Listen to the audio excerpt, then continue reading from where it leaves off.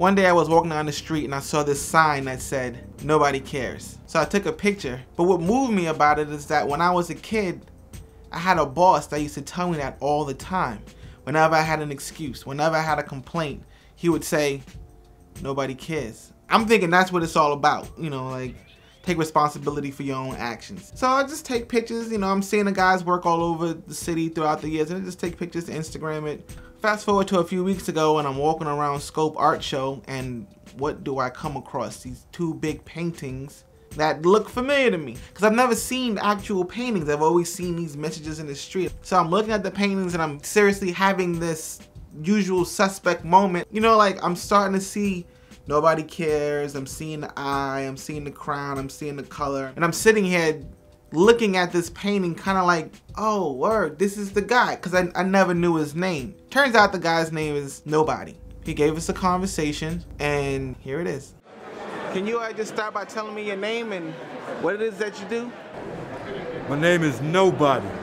T M N K, the me nobody knows. And I'm a New York City graffiti street artist. I guess you might say a contemporary contemporary painter. And can you break down what nobody knows what, what that represents? I began calling myself TMNK, the me nobody knows, because I didn't think I was any more different than anybody else. That there's a lot of nobodies out there that nobody knows. And I wanted to represent with my resilience and my determination that if a nobody like me could get discovered, make his art be heard, his voice heard, then anybody could. Uh, there's a lot of message in your work. Like, well, how did you get started? Like, what inspired you to get up and just start getting up, so to speak? Um, I'm not really, I didn't grow up on graffiti, but somebody I knew got murdered.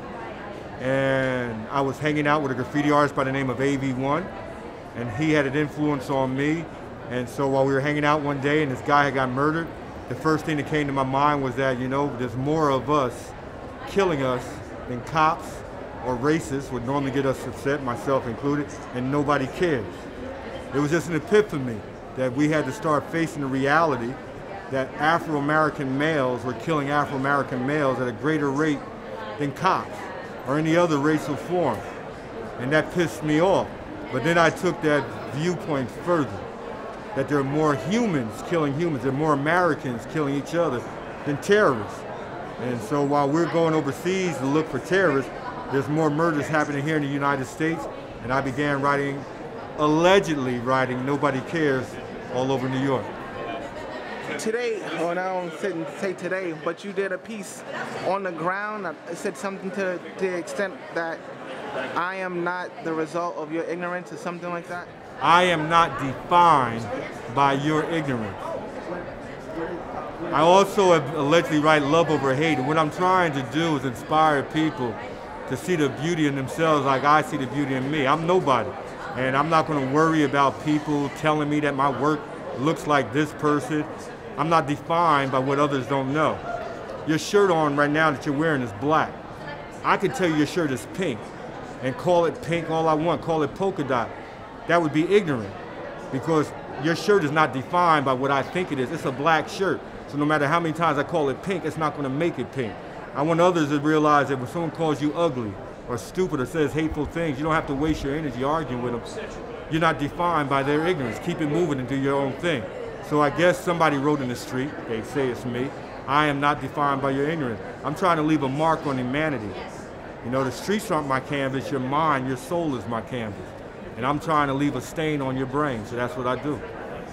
So as far as how you sustain your art, um, do you do business or like how did you how did you actually become, you know, to the point where you could show in art shows and things of that nature? Was it over time, or did they approach you, or it just wasn't? I never thought of it as doing business. I, it may sound gratuitous. Somebody I know got murdered. I have an eight-year-old son, and up to then I thought my biggest job was protecting and providing for him. But I began to realize I could protect, provide, send him to the best school. If I don't take time out to care about the cat on the other side of the street, that nobody cares about, then one day that kid who grew up without somebody caring could cross paths with my son and not give a fuck, pull a gun on him and murder my son or murder my mother. To me, the only antidote was to take time out, to send messages of caring, but also care about somebody on the other side of the track. So I really wasn't trying to sell art. I was trying to leave a message, to have a conversation with generations yet unborn. But the street art thing took off. Galleries got in touch with me, and I'm selling paintings. I have to support myself, support my family. And so it never was about selling paintings. It was more about leaving a legacy for my son, for my children. The crown people see in my pictures, a lot of people compare to Basquiat. They think that I'm copying or I got inspired by Basquiat. I started using the crown and didn't have anything to do with Basquiat. Me being ignorant, I didn't even know about Basquiat. But I did know that I was quitting a good paying job having formerly been homeless. And that one day, the only thing I would have to leave my kids was not this 401k, would be the legacy of my work. So my kingdom would be the wisdom and the knowledge that I imbued in my paintings. And that's why each of my paintings has three jewels on it.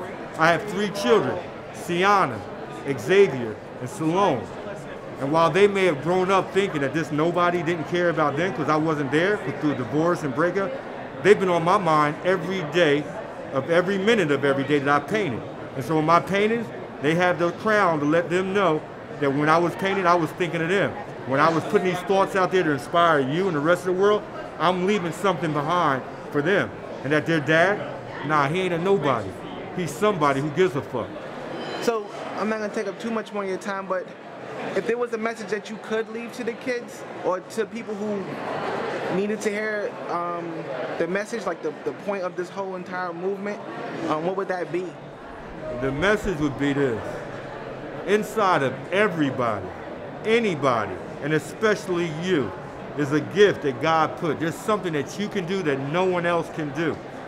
There's a, there's a contribution that you can make to this world, but you got to believe in yourself. And you got to work at it every day, relentlessly. It'll be difficult. But I want people to see that if a nobody like me can come to the streets of New York and several years later, not 10 years later, within five years, have his work exhibited around the world, to be up here in scope, then anybody can. Anybody can make a difference. Everybody can make a difference. And that's what I'm trying to do with my art is my weapon movement. There's violence in the world. I'm trying to say art is my weapon against ignorance. Art is my weapon against hatred. Art is my weapon against poverty. Art can change your world. It changed mine. Thank you. No diggity, no. If you'd like to know more about TMNK or the Me Nobody Knows, that information is in the description. Thanks for watching, and I see you next time.